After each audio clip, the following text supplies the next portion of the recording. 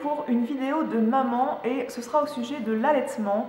Alors j'ai beaucoup hésité à faire cette vidéo, j'ai beaucoup hésité aux façons de faire cette vidéo, est-ce que je la faisais en plusieurs thèmes, en plusieurs parties? Bien sûr je vais raconter mon expérience, je ne suis pas une sage-femme, je ne suis pas professionnelle de santé, je ne suis pas médecin, je ne suis pas euh, spécialiste en lactation. Je vais juste vous partager avec vous mon expérience de maman en la matière. J'ai une expérience très positive de l'allaitement. J'ai eu beaucoup de chance de ce côté-là, ça a été magique, ça a été formidable. Et du coup, je me suis dit que c'était bien de vous raconter comment ça s'était passé pour moi tout en nuançant mes propos parce qu'il n'y a pas que des avantages à allaiter, notamment pour la maman, il y a aussi quelques inconvénients dont je vais parler. Il est sûr que pour moi ça a été une très belle expérience, pour autant, ça n'a pas été si facile que ça à mettre en place. Et si je peux partager avec vous les conseils qui m'ont été utiles les petites astuces qui m'ont été utiles pour réussir mon allaitement, pour bien le démarrer, eh bien euh, je me suis dit que ça serait sympa de les partager avec vous. Parce que ça a beau être la chose la plus naturelle qui soit, il y a des femmes qui allaitent leur bébé depuis euh, des milliers d'années. Et pour autant c'est pas aussi facile que ça en a l'air à mettre en place. Donc j'avais lancé sur Instagram, sur Facebook, sur les réseaux sociaux où je me trouve, j'avais lancé une FAQ, une foire aux questions en vous postant cette photo là et euh, il se trouve que donc j'ai pas une audience énorme donc je m'attendais pas à avoir des milliers de questions. C'est sur Instagram que les questions ont été posées. Et je vais y répondre en fait tout au long de la vidéo, donc euh, celles qui ont posé les questions à mon avis elles retrouveront leurs réponses dans la vidéo, pour autant ça va pas être exactement le fil conducteur de ma vidéo parce qu'il n'y a pas eu assez de questions pour que ça crée un fil conducteur. La première personne qui m'avait posé des questions, ça pouvait faire un fil conducteur et je vais y répondre euh, tout au long de la vidéo, elle me demandait euh, les conseils et astuces qui m'avaient été utiles pour réussir mon allaitement en termes de soins de la poitrine, de vêtements, de position d'allaitement, ou ceux que j'aurais aimé avoir ou que j'ai découvert grâce à mon expérience. Elle m'a demandé si les débuts avaient été difficiles. Euh, elle pensait notamment aux fameux pics de croissance qui peuvent être un passage difficile. Elle m'a demandé comment je gérais les sorties et les tétés chez des amis, au restaurant ou dans d'autres endroits. Elle m'a demandé la durée et le nombre de tétés par jour. Et elle m'a demandé la question qui est à mon avis euh, la plus intéressante, en tout cas dans mon expérience, c'est comment je m'y suis prise pour arrêter l'allaitement. Ensuite, il y avait une autre personne, Mathilde, qui s'inquiétait davantage de la douleur euh, qu'on ressentait euh, avant, pendant et après une tétée. Et ensuite, il y avait une autre personne également qui me demandait si ça faisait des nœuds dans les seins, et ça j'y répondrai euh, en temps voulu. J'aurais tendance à être pro-allaitement, mais euh, qu'on soit clair, moi je juge absolument pas les personnes qui décident de donner le biberon à leurs enfants. C'est vraiment un choix qui est très personnel. Bien qu'il y a peut-être une seule personne avec qui vous pouvez en discuter et en décider, c'est avec votre mari, mais je pense quand même que même si le mari euh, euh, souhaiterait que euh, sa femme allaite leurs enfants en commun, eh bien ça reste quand même un choix individuel à la femme parce que ça reste sa poitrine, ça reste son corps, ça reste ses seins que l'enfant va téter, donc il faut vraiment que la personne, la femme, soit prête à le faire. C'est vraiment d'ailleurs mon premier conseil pour euh, réussir un allaitement, c'est-à-dire qu'il faut, le sentir en fait, il faut avoir envie de le faire. C'est un choix personnel, donc euh, que vous décidiez de biberonner ou de donner le sein, euh, ça se respecte en fait, c'est un choix qui est tout à fait respectable. C'est aussi une question de disponibilité parce que l'allaitement au sein demande beaucoup plus de disponibilité avec son enfant que le biberon et souvent ils sont beaucoup moins réguliers dans, euh, les heures de tétée, dans les heures de repas avec le sein plutôt qu'avec le biberon. Pourquoi moi j'ai décidé d'allaiter Parce que tout simplement j'ai euh, cette culture scientifique et euh, cette culture en nutrition parce que j'ai quand même des études spécialisées dans l'agroalimentaire et j'ai eu des enseignements en nutrition mon mari aussi, enfin mon, amoureux aussi, on n'est pas mariés. On avait tous les deux envie que euh, notre enfant bénéficie euh, de tous les bienfaits de l'allaitement et euh, moi je ressentais le besoin d'allaiter mon enfant parce que j'ai lu plein d'études qui démontrent que votre enfant il aura moins d'intolérance à votre lait que au, lait de vache en fait. Le, lait en poudre, ça reste du lait de vache dedans, il a beau être euh, de mieux en mieux euh, fabriqué, le lait maternel, c'est celui qui, est parfait pour votre enfant, en fait, tout comme le lait de vache est parfait pour le veau, tout comme le lait de chèvre est parfait pour le chevreau, et eh bien le lait d'une maman, d'une femme, est euh, celui qui correspond le mieux aux besoins de son enfant. Il peut y avoir des intolérances par rapport à ce que vous mangez parce que euh, ce que vous mangez ça passe dans le lait, le goût passe dans le lait et euh, c'est possible, on, voit des enfants qui ont des intolérances si la maman mange beaucoup d'un aliment, il est possible que ça engendre des intolérances chez le bébé mais euh, c'est plus rare que des intolérances au lait de vache par exemple. Il y a également des études qui démontrent c'est prouvé statistiquement que les enfants qui ont été allaités sont moins sujets aux allergies plus tard et à l'eczéma par exemple que des enfants qui ont été élevés au biberon. Il y a des études sérieuses également qui montrent que ça renforce le système immunitaire de l'enfant parce que vous lui, vous lui, transmettez tous vos anticorps. Également le colostrum, c'est-à-dire euh, ce qui arrive avant la montée de lait, ce liquide un peu jaune et euh, en plus petite quantité qui vient euh, quand vous venez d'accoucher, que les premières tétées, c'est le colostrum en fait que le bébé va prendre. Tout ça, c'est riche en très bons nutriments. C'est très très riche en anticorps, tout comme le lait qui va arriver ensuite. Statistiquement, les enfants qui sont allaités sont moins malades que les enfants qui ont été élevés au biberon. Encore une fois, il y, aura toujours une amie qui va vous dire oui mais ma fille elle n'a pas été allaitée, elle n'a pas été euh, plus malade que les autres. Oui mais la fille de votre copine c'est pas les statistiques, c'est pas une généralité, sinon euh, quand on n'allaiterait pas ça serait, ça serait non assistance à personne en danger presque. Mais euh, voilà, c'est pas une généralité, mais il y a des statistiques qui le prouvent. Le lait maternel, il est en fait avec des guillemets antibactériens, c'est-à-dire qu'un enfant qui est allaité, il a moins de malchance d'avoir une gastro par exemple, ça limite en fait les infections. C'est bon à prendre parce qu'un bébé qui a une gastro, il peut facilement être hospitalisé du fait qu'il va perdre du poids. Également, je savais que on retrouve plus facilement son corps et euh, sa forme d'utérus initiale quand on allait, c'est-à-dire que les hormones qui sont produites pendant l'allaitement vont favoriser la rediminution de votre utérus à sa taille normale. Votre utérus, il est passé à peu près de ça à euh, la taille d'une pastèque pendant votre grossesse, et du coup, euh, pour qu'il revienne à sa taille normale, il faut du temps, et ce temps est plus court quand vous allaitez grâce aux hormones que vous produisez durant l'allaitement. J'ai lu beaucoup que le fait d'avoir allaité, eh bien, les femmes qui ont allaité sont moins sujettes au cancer du sein et à d'autres cancers également, donc euh, c'est toujours aussi bon à prendre. Et surtout, il y a deux écoles de pensée euh, parmi les femmes. Certaines vont trouver que euh, ça fait vache à lait d'allaiter et d'autres vont trouver que c'est un lien formidable avec l'enfant, un moment de tendresse hyper intense. Et moi, je fais partie de cette deuxième catégorie qui qui avait envie de perdurer le lien euh, intime avec euh, mon enfant parce que j'ai adoré ma grossesse. J'ai trouvé que c'était euh, formidable de sentir par exemple mon bébé bouger, que c'était fusionnel et j'avais envie de perdurer ce lien fusionnel avec mon enfant pendant l'allaitement et je me suis pas trompée, je regrette pas du tout parce que ça reste un moment à mon avis irremplaçable le fait de nourrir son enfant au sein. Donc mon premier conseil comme je vous ai dit c'était vraiment de le sentir si vous allaitez, c'est pas pour faire plaisir à maman, à votre maman qui dit que euh, l'allaitement c'est super, c'est pas pour faire plaisir à votre mari, c'est vraiment parce que vous pensez que c'est mieux pour votre enfant et que vous pensez que vous, ça va vous apporter de la satisfaction et euh, un bien-être. Si vous n'êtes pas à l'aise avec ça, je pense que c'est mieux de pas le faire. Deuxième point à, ce propos, soyez clair vraiment sur votre souhait à la maternité parce que vous risquez de tomber sur des sages-femmes qui sont pro-allaitement. Il y a des sages-femmes même, qui pensent que euh, si vous allaitez pas, vous êtes une mauvaise mère, hein, ce qui n'est pas le cas heureusement.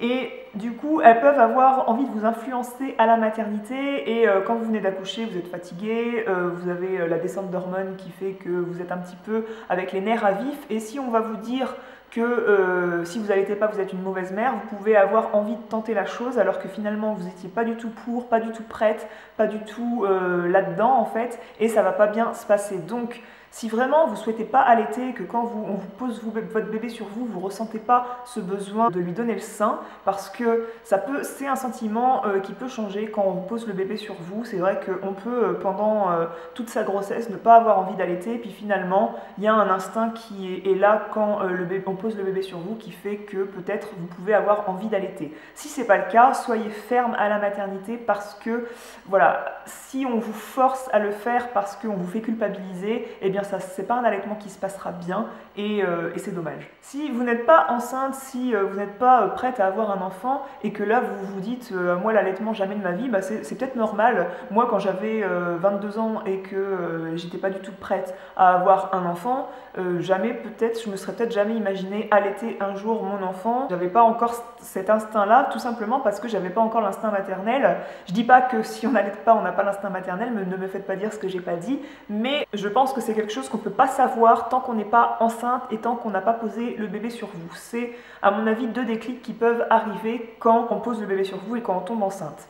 Également, pour bien démarrer un allaitement, le deuxième, point que le deuxième conseil que je peux vous donner, c'est tout simplement de s'informer. Il y a ce livre que je vous avais présenté euh, pendant mes vlogs de grossesse, qui est le guide de l'allaitement en 150 questions de Muriel Igmorasen. Ce livre est très bien, mais euh, il y en a, euh, il y a full de livres comme ça à ce sujet. Je l'ai lu pendant ma grossesse et je l'ai également relu pendant que j'allaitais, parce que, enfin, je l'ai relu les points qui m'intéressaient en fait. Il y a plein de revues aussi de, de parents, de maman, des magazines en fait où on peut trouver des informations sur l'allaitement. Il y a aussi donc les bouquins et il y a aussi les blogs féminins, les blogs de maman qui racontent leur expérience de l'allaitement. Voilà, prenez tous les conseils à mon avis qui sont bons à prendre aussi avant de prendre vos décisions. Faites pas une décision non je veux pas allaiter alors que vous êtes totalement ignorante sur le sujet. Je pense que c'est bien quand même de s'informer, de savoir ce qu'il en est de l'allaitement, euh, ce qu'on ressent quand on allaite, enfin d'avoir toutes les infos, autant scientifiques que les expériences de différentes mamans, les expériences de vécu, que pour euh, prendre votre décision et ensuite pour bien démarrer votre allaitement, prenez euh, tous les conseils qui sont bons à prendre dans, dans ce que vous lisez. Ça va de soi, n'hésitez pas à poser des questions à la sage-femme que vous consultez lors de votre grossesse. Peut-être n'est-elle pas euh, conseillère en lactation, en allaitement, parce qu'il euh, y a des, vraiment des sages-femmes qui sont nulles là-dedans. J'ai vu des sages-femmes qui appelaient euh, leurs collègues sages-femmes à la maternité pour venir me conseiller parce qu'elles n'étaient pas du tout pro là-dedans.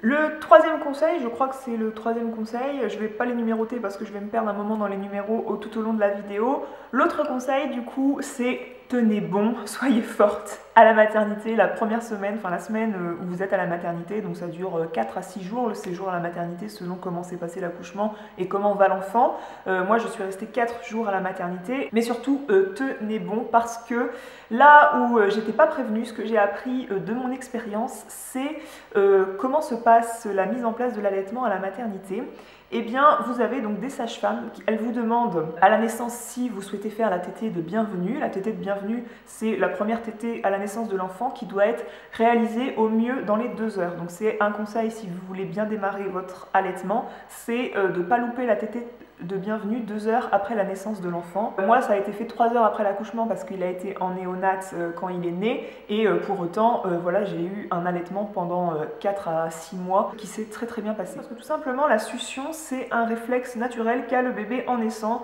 Vous allez très vite le voir quand vous allez le poser sur vous. Même si vous le posez sur le papa, il va chercher un petit peu où c'est. Et euh, si vous le posez évidemment sur vous, eh bien c'est encore pire parce qu'il il sent finalement une certaine odeur que nous on sent pas et euh, du coup il va savoir très vite où trouver votre sein, croyez-moi. En quoi je vous dis de tenir bon aussi, c'est que moi j'étais pas préparée à, euh, à ce côté intrusif de tout le personnel médical qui vont vouloir vous aider à bien démarrer votre allaitement. J'étais pas aussi préparée à euh, cette intrusion dans ma pudeur, c'est-à-dire, je m'explique, les sages-femmes vont vous demander si vous voulez allaiter, il y a eu la tétée de bienvenue et ensuite il y a ce temps où vous êtes à la maternité où les sages-femmes vont vouloir être présentes à chaque tété pour voir si l'enfant prend bien le sein, pour voir si ça se passe bien, s'il déglutit bien, pour vous conseiller. Parce que d'un côté, elles ont raison parce que c'est pas une chose innée, c'est pas quelque chose quand on n'y connaît rien. On sait pas vraiment s'il prend bien le sein, on sait pas vraiment s'il déglutit bien. Quand on n'est pas une pro du sujet, quand c'est votre premier enfant, eh bien, c'est vrai que euh, les sages-femmes sont utiles et il est utile qu'elles soient là pour les téter. Mais voilà, quand on vient euh, d'accoucher, que moi mon enfant il est allé 24 euh, heures en néonate, donc j'avais envie de me retrouver avec lui, j'avais envie de me retrouver aussi avec lui et son papa, j'avais pas envie qu'il y ait toujours une sage-femme qui soit là, au-dessus de ma poitrine, en train de regarder euh, si l'enfant il t'était bien. Et surtout, j'avais pas envie qu'on me dise que je faisais mal, parce que moi je suis quelqu'un qui a envie de faire bien les choses, et surtout pour son enfant, je pense que toute maman a envie de faire bien les choses, et vous êtes dans cette humeur où vous avez la descente d'hormones que vous êtes fatigué, vous venez d'accoucher, et il y a quelqu'un qui vient un petit peu, entre guillemets, vous emmerder à, euh, vous dire faites comme ça, faites comme ci et faites comme ça. Ça, moi, j'étais pas préparée, et il y a un moment où ça s'est mal passé parce que quand l'enfant voulait téter, la sage-femme vous demande de la biper pour qu'elle vienne avant que vous commenciez la tétée pour que la tétée se passe bien. Et moi, il y a deux ou trois fois où bah, j'ai pas bipé la sage-femme et du coup, elle m'a pas grondé, mais elle, m'a dit mais pourquoi vous m'avez pas bipé? Euh, Je suis là pour ça, je suis là pour vous aider. Je me suis mise à pleurer parce que euh, voilà, j'avais pas envie qu'elle vienne m'aider. Et pourquoi j'avais pas envie? Parce que j'avais pas du tout apprécié l'intrusion dans la pudeur. Moi, je suis très quelqu'un de très pudique et Comment ça se passe? Eh bien, la plupart des sages-femmes arrivent, elles prennent votre sein, elles, viennent triturer votre sein en, le mettant euh, vers la bouche de bébé. Et euh, du coup, moi, j'étais pas préparée à, euh, à, cette intrusion dans mon intimité. J'avais envie de dire à la sage-femme, écoute, on se connaît depuis deux minutes, si tu pouvais éviter de me tripoter les seins, ce serait bien. Soyez forte de ce point de vue-là, préparez-vous à ce que ce soit quand même une intrusion dans votre intimité, une intrusion dans votre nouvelle vie de famille, mais c'est pour la bonne cause finalement, elles, euh, ne vous veulent pas du mal, les sages-femmes, si vous voulez vraiment allaiter, elles sont là pour que ça démarre bien. Et surtout, faut savoir euh, reconnaître ses limites en fait. Ensuite, vous allez vous retrouver 4 jours après, une fois que vous serez rentré chez vous, vous vous retrouvez toute seule. Euh, bien sûr, il y a votre chéri, mais voilà, il, il allaitera jamais de sa vie, donc c'est pas lui qui est de meilleurs conseils pour l'allaitement.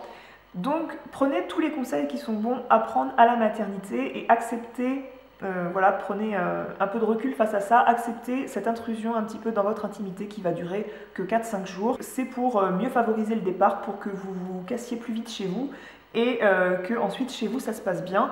Et pour autant, il est possible que chez vous, vous ayez besoin d'appeler une sage-femme. Ça aussi, il faut reconnaître ses limites et pourquoi pas quand euh, la sage-femme qui vient euh, peser votre bébé, si elle est euh, spécialiste en allaitement, en lactation, pourquoi pas lui demander conseil? Concernant l'intrusion dans l'intimité, il y a aussi celle des proches en fait qui viennent vous voir à la maternité. Et vous êtes à la maternité, il y a cet allaitement qui est difficile à mettre en place, qui vous prend un petit peu toute, votre énergie, qui vous prend toutes vos heures de sommeil, parce que à la maternité, on réveille le bébé toutes les 3 heures pour qu'il tète. Il y a souvent la sage-femme qui, qui est présente toutes les 3 heures pour euh, venir regarder comment se passe la tétée. Donc tout le monde est concentré sur votre sein. Et si vous avez une visite à ce moment-là, eh bien vous n'êtes pas hyper à l'aise avec ça parce que déjà il fallait accepter la, venue de la sage-femme qui vient euh, vous aider pour l'allaitement. Et là, vous avez, euh, moi j'avais ma mère, mon beau-père qui me ramène, qui, qui se ramène. Et autant ma mère, pourquoi pas, mon beau-père c'est un peu moins facile. Voilà, donc il y a, le papa qui emmène tout le monde prendre un café, mais pour autant tout le monde veut voir le bébé. C'est encore une intrusion dans l'intimité qui n'est pas du personnel médical, mais euh, de vos proches, qui n'est pas facile et qu'il faut gérer. Et un bébé qui vient de naître, ce qu'il adore, c'est le pot à pot, et il se trouve que moi, il prenait très très bien le sein quand on était tous les deux tout nus, c'est-à-dire le bébé en couche et vous, il ne vous faut absolument rien sur le corps. Le pot à pot, c'est vraiment, vous êtes torse nu, il faut pas un soutien-gorge qui vient euh, euh, qui vient faire une distance entre le bébé et vous. Vous mettez un drap par-dessus vous. Mais pour autant, euh, recevoir de la visite quand on est tous à poil, c'est pas hyper euh, sympa, on n'est pas très accueillante. Donc ça aussi, préparez-vous. Les gens que vous savez qui viendront vous voir à la maternité, parlez-en avec eux. Expliquez-leur que vous serez dans une, une, ambiance particulière du fait que vous voulez allaiter et que vous ne serez pas forcément disponible euh, quand elles viendront, qu'il suffira qu'elles descendent prendre un café, puis qu'elles remontent, et puis et voilà, elles pourront voir le bébé. Autre conseil qu'on m'a appris à la maternité, j'avais lu ça aussi dans quelques bouquins, c'est que au mieux dans les euh, quatre premières semaines, donc dans le premier mois de votre allaitement, évitez euh, l'intrusion de biberon, de tétine en fait, parce que une tétine c'est plus facile à téter, le lait sort plus facilement qu'à votre sein, et si le bébé est habitué à téter une tétine, après, une fois qu'il va se retrouver sur, votre sein, il va trouver que ça vient un peu moins vite et il risque de faire un petit peu le feignant sur le sein et euh, vouloir euh, qu'au biberon et euh, vous allez être frustré parce que ça va avoir coupé tout votre allaitement parce que il, préfère la tétine finalement à votre sein. Ça peut se passer comme ça mais il y a des bébés qui passent de l'un à l'autre sans problème. si vous avez besoin de tirer votre lait, de remplir un biberon avec le lait pour que quelqu'un d'autre le donne parce que vous avez besoin de vous absenter, c'est pas pour ça que ça va se passer mal. Hein. Il y a des bébés qui passent de l'un à l'autre sans problème. Moi d'ailleurs quand j'ai fait la transition, il passait tout à fait de la tétine à mon sein et euh, dans le biberon il y avait du lait euh, industriel et euh, mon sein bah, c'était mon lait, il passait tout à fait de l'un à l'autre sans problème. Mais quand même au stade nourrisson, dans les 4 premières semaines, c'est quand même très fortement recommandé de ne pas introduire de tétine. Si vous en introduisez une, choisissez-la pas souple du tout en fait. Il y a des numéros sur les tétines euh, choisissez-la difficile à téter, je sais plus comment on appelle ça. Choisissez une tétine qui n'est pas souple, où le lait ne sort pas facilement, où il faut qu'il fasse un petit effort pour que quand vous le remettrez au sein, il fasse pas euh, le fainéant sur votre sein. Et la tétine, surtout pas les 3 ou 4 premiers jours avant la montée de lait, parce que les 4 premiers jours, comme je vous ai dit, c'est du colostrum, un liquide jaune qui est très riche en nutriments, très riche en anticorps. C'est ce qui vient avant la grosse montée de lait. Et du coup, évidemment, si vous lui proposez un bib de lait où ça coule et euh, vraiment que c'est, euh, il va euh, ingurgiter un, liquide en forte quantité, évidemment, le colostrum à côté, ça va paraître dérisoire et il va se dire tu m'arnaques quand vous, le, quand remettez au sein. Donc surtout les 4 premiers jours, pas de biberon. Ce que moi je savais pas en tout cas, c'est que la reprise de poids à la maternité est pas facile quand et moins rapide quand vous allaitez. C'est-à-dire qu'un bébé qui est élevé au biberon, eh bien, dès, le début, il va plus vite reprendre de poids. Souvent, euh, tous les bébés, ils perdent quelques centaines de grammes pour remonter ensuite la courbe. Quand la courbe de poids est euh, comme ça, eh bien, vous pouvez rentrer chez vous parce que le bébé prend bien du poids, ça montre que ça va bien se passer et qu'on peut vous laisser repartir chez vous. Quand vous allaitez, c'est du colostrum, c'est riche en nutriments, mais pour autant, euh, on attend avec impatience la montée de lait pour que la courbe de poids remonte en flèche parce que en fait, il va perdre plus de poids quand euh, vous allaitez que quand vous le nourrissez au biberon. Donc euh, ça, c'est bon à savoir que vous sortez quand même plus vite de la maternité quand vous élevez au biberon, mais à mon avis, c'est pas euh, une raison pour laquelle il faut pas allaiter. C'est pas non plus traumatisant de rester un jour de plus à la maternité. Et quand vous annoncez ça à vos proches qu'il a perdu un peu de poids, il y a des proches qui vont vous dire oh bah colle-lui un biberon, il va reprendre du poids, puis comme ça tu pourras te, casser de la maternité. C'est surtout pas ce qu'il faut faire. Faut pas surtout pas écouter ces personnes-là parce que comme je vous ai dit, il n'est pas très favorable d'introduire un biberon et une tétine pendant qu'on essaye de mettre en place l'allaitement. Vous avez toujours des, personnes bienveillantes qui vont euh, vous faire des réflexions de ce type-là et vous donner euh, soi-disant des bons conseils alors qu'elles n'ont pas allaité parce qu'elles ont l'air en fait de vous plaindre de qu'est-ce que c'est compliqué dis donc d'allaiter mais euh, surtout faites votre petit bonhomme de chemin faites ce que les conseillères en allaitement vous conseillent et pas ce que la copine ou la sœur vous conseille. De même parmi les réflexions des proches qui viennent vous voir ils vont observer oh bah qu'est-ce que c'est difficile à mettre en place l'allaitement ils ont l'air de vous plaindre à moitié et puis ils vous disent comme ça oh bah tu sais c'est pas grave si ça plante ton allaitement moi j'ai pas allaité les miennes elles se portent très bien.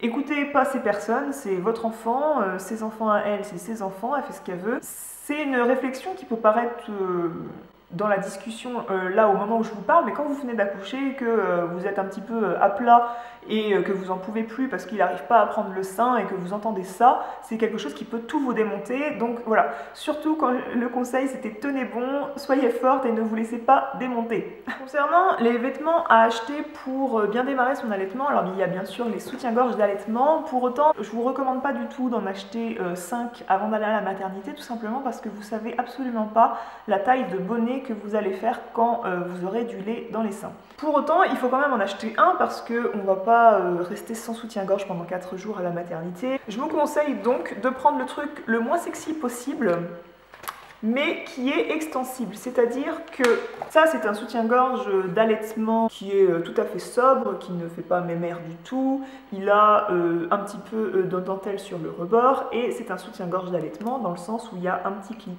qui se rabaisse pour sortir euh, votre sein et que vous puissiez allaiter. Mais je vous recommande pas de prendre ça parce que ça c'est euh, une taille bien précise que euh, vous risquez de vous tromper en l'achetant avant de savoir quelle taille de bonnet vous allez faire pendant votre montée de lait. Alors que vous avez cette chose là qui se trouve à Leclerc qui est en fait comme une moitié de débardeur qui est très bien élastiqué ça, c'est pas du tout euh, élastiqué à la base, un petit peu, mais euh, vraiment très léger. Alors que ça, c'est très élastique et du coup, ça va s'adapter un petit peu à la taille que vous allez faire. Donc, Prenez euh, une taille de plus euh, que votre bonnet habituel. Là, évidemment, si je mettais ça en ce moment où euh, je n'allais plus, donc j'ai retrouvé ma taille de sein initiale, eh bien, ce serait trop grand. Donc, j'avais pris une taille en plus. Je crois que j'avais pris du M et ça se vend à Leclerc. J'en avais pris un blanc, un noir. C'est de la marque Tigex. C'est la marque où ils vendent des produits d'allaitement à Leclerc. Voilà, prenez un truc qui est extensible, qui n'a pas de rigidité comme celui-ci. Ça, c'est comme un haut de t-shirt. Ici, il y a un élastique qui permet de cintrer la matière entre les deux seins. Voilà, prenez un truc qui va euh, s'adapter un petit peu à la taille de votre poitrine et ensuite, quand vous saurez à peu près euh, la taille que vous faites quand vous avez du lait dans les seins et euh, une fois que la, grosse montée de lait est passée, vos, seins vont prendre une taille qui sera permanente, on va dire, qui sera à peu près la même tout le temps bien que la taille des seins n'est pas la même euh, avant que le bébé tête et après qu'il ait été, on peut passer dans une même journée d'un bonnet E à un bonnet C, hein, c'est possible. Ne vous ruinez pas, surtout en soutien-gorge d'allaitement, achetez-en un voire deux et ensuite vous, vous irez en acheter pour poursuivre votre allaitement une fois que vous saurez quelle taille vous faites. Alors, donc, comme je vous avais dit, euh, ceux qui sont euh, adaptables, ils se trouvent en blanc ou noir à Leclerc et euh, c'est franchement pas hyper joli et si vous avez un, col qui est un peu plus dégagé, eh bien ça se voit. Donc évidemment, je m'en suis servi avec un t-shirt comme ça, par exemple, ça se voyait pas, mais avec d'autres hauts plus sympas, eh bien ça se voyait. Donc c'est intéressant de, de racheter d'autres soutiens-gorge si vous souhaitez allaiter un moment. Parce que tourner avec deux soutiens-gorge, n'est-ce pas, c'est difficile, mesdames.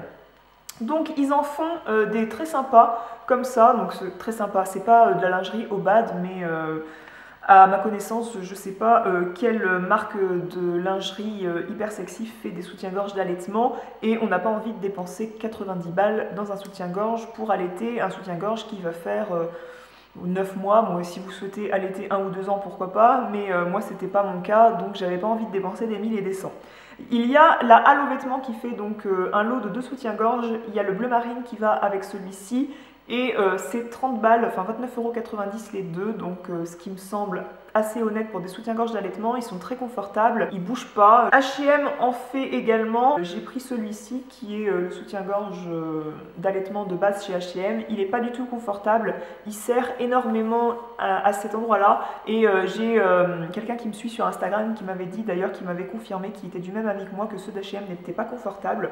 Donc je vous le recommande dans le sens où il est joli, il peut aller avec pas mal de haut en fait, les bretelles sont fines parce que souvent les soutiens-gorge d'allaitement les, les, bretelles sont hyper épaisses. Pourquoi pas, mais c'est pas le plus confortable quand on s'en sert. Et ensuite vous en trouvez chez Asos, mais chez Asos il y en a des mémères, il y en a qui font mémères, il y en a qui font euh, pas mal comme euh, celui-ci. Et ils sont pas donnés en fait, c'est ça qui est un peu difficile, il faut un peu fouiner, regarder régulièrement sur Asos, voir s'ils n'ont pas des nouveautés ou des remises en stock. Ils sont très bien, donc moi j'avais pris celui-ci. Il me correspondait tout à fait. Pour les t-shirts, dans un article où je vous avais dit les choses qu'on s'était empressé d'acheter en revenant de la maternité, je vous avais dit avoir acheté des débardeurs pour baisser la bretelle facilement. J'ai vite changé d'avis du fait que c'est moins discret d'allaiter son enfant quand on baisse la bretelle parce qu'il y a l'enfant qui est au sein, on voit le haut du sein, donc euh, si vous avez en plus une forte poitrine, on va voir une grosse partie de vos seins. Vous pouvez mettre un linge dessus, mais euh, le bébé il fait ça en fait. Moi en tout cas c'est ce qu'il faisait. Voilà, le mieux en fait c'est de soulever son, t-shirt, comme euh, je vais vous montrer une vidéo ici. J'avais ce t-shirt je crois d'ailleurs. Et c'est le plus discret parce que finalement le bébé il va cacher votre ventre, quand vous soulevez euh, votre t-shirt, le haut de votre t-shirt cache encore le haut de votre sein. Vous pouvez même cacher la bouche du bébé et on voit absolument rien de vos seins. Ça m'est arrivé d'allaiter dans les lieux publics où on ne s'est même pas vraiment rendu compte que je faisais téter mon fils. Enfin, au départ, on s'en rend pas compte et puis je vois que les gens ils marquent un temps d'arrêt, tiens, elle est en train d'allaiter en fait. Et ils croyaient en fait que le bébé il était juste euh, allongé sur moi et ils voyaient pas vraiment qu'il était au sein. Bien sûr, on peut pas se mettre en robe, c'est euh, l'inconvénient entre guillemets parce que moi ça m'a pas non plus dérangé plus que ça parce qu'évidemment il faudrait soulever toute la robe, la robe, sauf si vous avez une robe à bretelles où vous descendez la bretelle, mais moi c'est pas le vêtement que je préfère en descendant la bretelle. Le mieux c'est d'avoir un t-shirt comme ça de tous les jours et de soulever le t-shirt. J'avais acheté des t-shirts sur la sauce en cache-cœur, je vous en avais parlé dans euh, What's in my maternity bag où je vous avais présenté ce que j'emmenais à la maternité et pour autant bah, euh, c'est pas le truc dont je me suis le plus servi parce que je trouvais pas ça pratique du tout, euh, je trouvais pas ça confortable du tout d'écarter le cache-cœur. En parlant de montée de lait, euh, moi, on me l'a stimulé avec le tire-lait, j'en parlerai par la suite. Vous inquiétez pas, vous allez tout à fait savoir quand vous avez la montée de lait, hein, ça se repère. C'est vrai que quand on l'a jamais eu, c'est un peu comme les contractions à l'accouchement, quand on les a jamais eues, on se dit est-ce que je vais savoir les reconnaître? Mais je vous assure que quand c'est là, vous savez absolument les reconnaître. La montée de lait, tout d'un coup, vous allez sentir euh, que vos seins y chauffent. Vos seins, ils vont prendre jusqu'à 3 ou 4 tailles, hein, c'est possible. Moi, j'avais pris Euh, la grosse montée de lait au départ, j'avais pris deux tailles. Lors de mon allaitement, je faisais ensuite une taille de plus que la normale. Vous avez les seins qui chauffent hein, parce que vous êtes en pleine lactation. Vous avez les seins qui fourmillent. On sent un petit peu euh, les canaux qui, qui se mettent à produire du lait. Et du coup, vous pouvez aussi perdre des gouttes de lait. Ce n'est plus du colostrum qui sort. Vous allez voir que typiquement, c'est un liquide blanc beaucoup plus opaque. Vous avez les seins qui deviennent très très durs. Et en effet, on peut avoir des nœuds sur les seins. Moi, au sein droit, j'en avais toujours un au-dessus euh, du mamelon. Vous allez, vous allez, tout savoir. Il suffit en fait de le masser. Et puis, euh, surtout quand votre bébé est au sein, et euh, vous allez voir que c'est juste un canal de lait qui fait un petit nœud, en fait, qui s'obstrue un petit peu.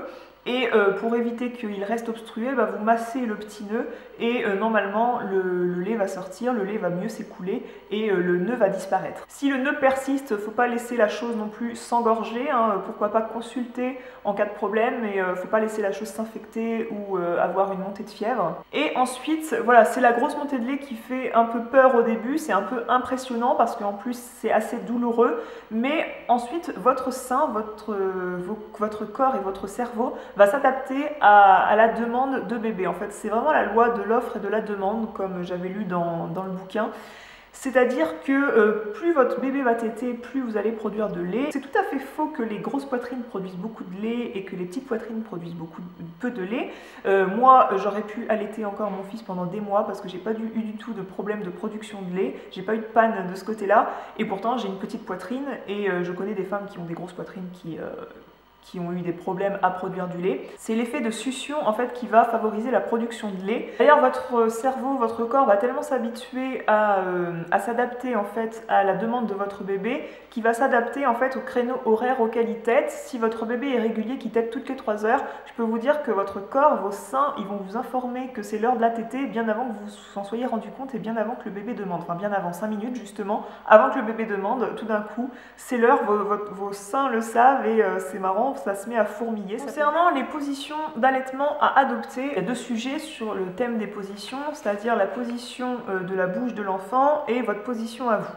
Donc pour pas avoir mal au sein, pour limiter les crevasses, il faut pour la bouche de bébé que sa bouche soit bien positionnée. Comme vous voyez ici, il faut que la bouche de bébé soit bien ouverte sur le mamelon. Donc euh, il ne faut pas qu'il fasse le feignant au début et qu'il ouvre bien la bouche. Donc avec un nourrisson qui est juste né, parfois c'est quelque chose qui n'est pas évident, qu'il ouvre bien la bouche et qu'il prenne bien le mamelon. Parce que d'ailleurs, la production de lait, c'est vraiment très haut qu'il faut qu'il appuie. C'est pas au niveau du, téton en fait qu'il faut qu'il appuie. C'est davantage en fait euh, plus haut pour que il, presse au bon endroit pour que le lait en sorte en fait. Si sa bouche est bien positionnée, vous allez le sentir, parce que, enfin si elle est mal positionnée, surtout vous allez le sentir parce que ça pince et c'est comme ça qu'on peut euh, faire des crevasses et du coup euh, vous allez tout de suite vouloir éviter ça, bien sûr, parce que à mon avis les crevasses ça fait très mal, moi j'ai la chance de ne pas en avoir eu.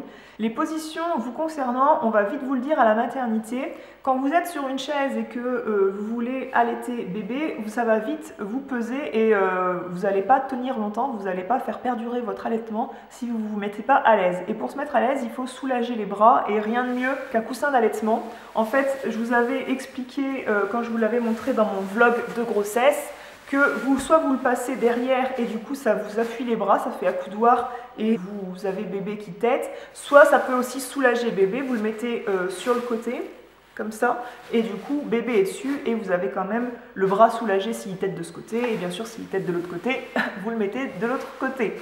Voilà.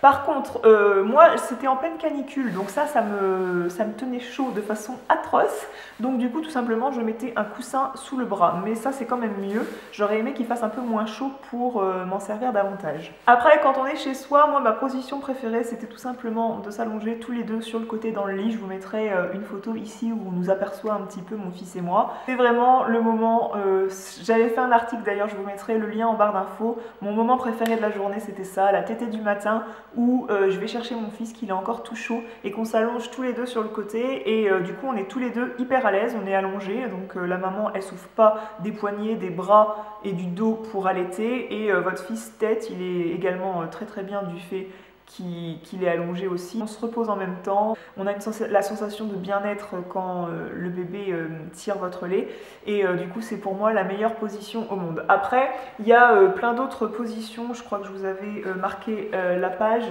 Euh, là, vous verrez rien, mais ça sert à rien. Je suis pas là pour vous montrer euh, les positions. Vous les verrez dans un livre. Euh, Il y a les conseillères en allaitement à la maternité qui vont vous en faire faire d'autres aussi. C'est à vous après de trouver la position qui vous convient et surtout si vous commencez à avoir les bras euh, qui, ont mal parce que euh, bébé pèse et que euh, vous êtes fatigué, surtout bah, changez de position, veillez comment vous soulager les bras parce que sinon vous n'allez pas tenir longtemps. D'ailleurs ça me fait penser à la question que du coup une abonnée sur Instagram me demandait comment tu fais pour allaiter quand tu étais chez des gens au resto, etc. Alors je pense que la question était posée d'un point de vue pudeur et intimité et là je vais rebondir sur cette question d'un point de vue position.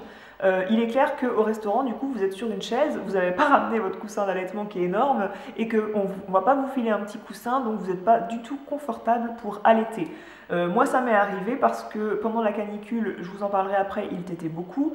Donc il a tété beaucoup, il est né début juin, donc euh, juin, juillet, août, il a tété très régulièrement. Au mieux, si vous êtes au restaurant à midi, eh bien faites la tétée quand vous êtes dans la voiture. Si vous avez des courses en plus après à faire, retournez à votre voiture où, là, où là vous avez un coussin pour être dans une bonne position et vous êtes en plus tranquille, il n'y a pas de bruit, il n'y a que vous et le bébé et vous êtes au calme dans la voiture. Si vous êtes chez des amis et que vous êtes à table, eh bien tout simplement vous vous retirez sur le canapé, en plus euh, vous êtes tranquille, c'est votre moment à vous et au, bébé, en plus vous ne serez pas à l'aise assis sur une chaise. Je vais arrêter cette vidéo là et je vous mettrai la suite de la vidéo dans 3-4 jours. En fait, je vais diviser en fait la vidéo en deux parties et je vais vous donner rendez-vous sur le blog dans la zone de commentaires où euh, je vous invite à poster des commentaires euh, sur votre expérience de maman, sur votre expérience biberon, sur votre expérience de l'allaitement maternel.